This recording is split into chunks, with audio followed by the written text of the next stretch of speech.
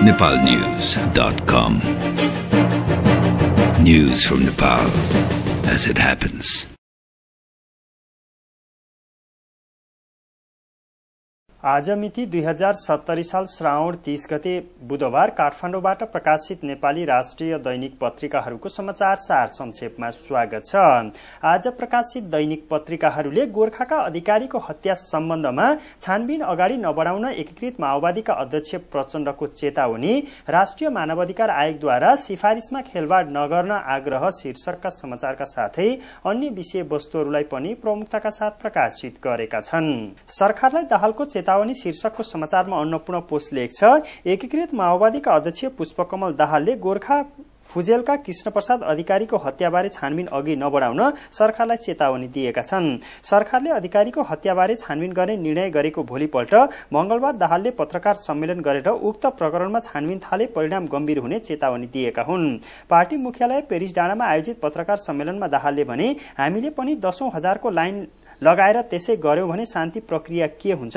संक्रमणकाल के हुन्छ? मैले यो प्रश्न सरकार प्रमुख समक्ष पनि राखेको छु। उनले घटनालाई नाटकीय ढंगले उचालेर समग्र शान्ति प्रक्रियाको जगलाई नै भत्काउन खोजेको आरोप समेत लगाए। सिफारिसमाथि राजनीति नगर मानव अधिकार आयोग शीर्षकको समाचारमा सोही पत्रिका लेख्छ राष्ट्रिय मानवाधिकार आयोगका प्रवक्ता गौरी प्रधानले आयोगले गरेको सिफारिसमा कुनै पनि पक्षले राजनीति गर्न नहुने बताएका छन्।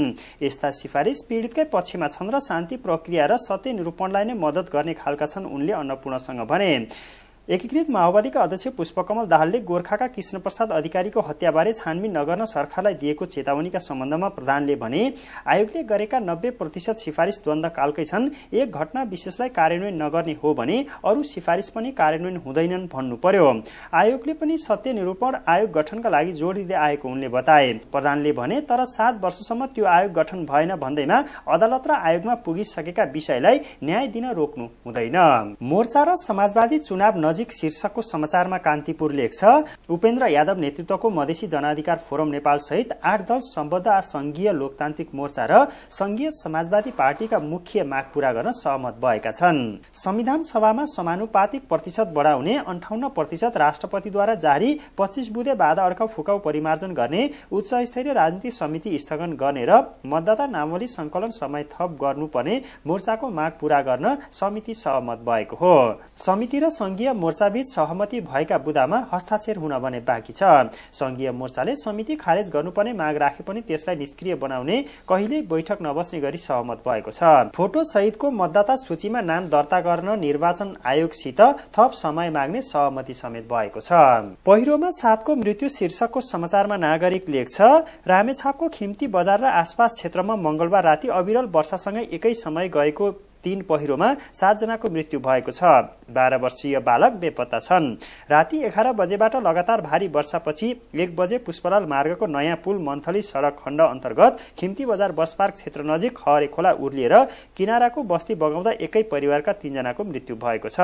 बाढ़ीले खोला किनारामा रहेको स्थानीय रामबहादुर बुढाथोकीको घर पुर्दा त्यसमा डेरा गरी बस्ने रसनालु एक का पचपन्न वर्षीय भीमबहादुर तामाङ सहित पचहत्तर वर्षीय आमा बुद्धु माया र पैंतालिस वर्षीय श्रीमती बाटुलीको मृत्यु भएको रामेछाका प्रमुख जिल्ला अधिकारी गोपाल प्रसाद पराजुलीले जानकारी दिए। तामाङको बाह्र वर्षीय छोरो ढल्के पहिरोमा बेपत्ता छ। सोही पत्रिकाले रानीखेत भनेर बर्ड फ्लू भ्याक्सिन शीर्षकको समाचारलाई पनि प्रमुखताका साथ प्रकाशित गरेको छ। झन फैलियो बर्ड फ्लू शीर्षकको समाचारमा नेपाल समाचार पत्र लेख्छ बर्ड फ्लू नियन्त्रण गर्न नसकेपछि सरकारले संक्रमित क्षेत्रलाई संकटग्रस्त क्षेत्र घोषणा गर्ने भएको छ। सरकारले बर्ड फ्लू नियन्त्रणका लागि एक साता ओसार पसारमा बन्देज लगाई रोगी कुखुरा मार्ने कार्यलाई तीव्रता बनाउँदा पनि बर्ड फ्लू महामारीकै रूपमा फैलिएपछि सरकारले पुनः व्यवसायी विक्रेता र उपभोक्तासँग सहकार्य गरी संकटग्रस्त क्षेत्र घोषणा गर्ने तयारी गरेको कृषि मन्त्रालयका अधिकारीले जनाएका छन्। यसै वर्ष स्थानीय निकायको निर्वाचन शीर्षकको समाचारमा गोर्खापत्र लेख्छ मन्त्री परिषदका अध्यक्ष खिलराज रेग्मीले संविधान सभा निर्वाचन सफलतापूर्वक सम्पन्न हुनेमा शंका नगर्न आग्रह गर्नुभएको छ। अहिले निर्वाचन मुलुककै पहिलो प्राथमिकता रहेको बताउँदै यसलाई सफल बनाउन सबै राजनीतिक दल र सम्बन्धित निकायलाई आफ्नो तर्फबाट सहयोग गर्न आग्रह समेत गर्नुभयो। नेपाल नगरपालिका संघद्वारा मंगलबार आयोजित स्थानीय निकायको अपरिहार्यता विषय गोष्ठीको उद्घाटन गर्दै अध्यक्ष रेग्मीले संविधान सभा निर्वाचन जुनसुकै हालतमा सम्पन्न हुने स्पष्ट पार्नुभयो। नव धनाड्यको सम्पत्ति स्रोत छानबिन गर्न अख्तियारको निर्देशन शीर्षकको समाचारमा नयाँ पत्रिका लेख्छ अख्तियार दुरूपयोग अनुसन्धान आयोगले उच्च एवं विलासी जीवनशैली भएका नवधनाड्य वर्ग र उच्च आय आर्जन गर्ने पेसागत क्षेत्रका व्यक्तिको सम्पत्ति खोजी करको दायरामा ल्याउन आन्तरिक राजस्व विभागलाई निर्देशन दिएको छ। अख्तियारका प्रमुख आयुक्त लोकमान सिंह कार्कीले आन्तरिक राजस्व विभाग अन्तर्गतका कार्यालय प्रमुखलाई कर अधिकृत तथा करदाता बीच सकेसम्म भेट कम हुने गरी विद्युतीय प्रणाली विकास गर्न जोड़ दिए। कार्कीले मंगलबार लाजिमपाटमा रहेको विभागको कार्यालय निरीक्षण समेत गरेका थिए।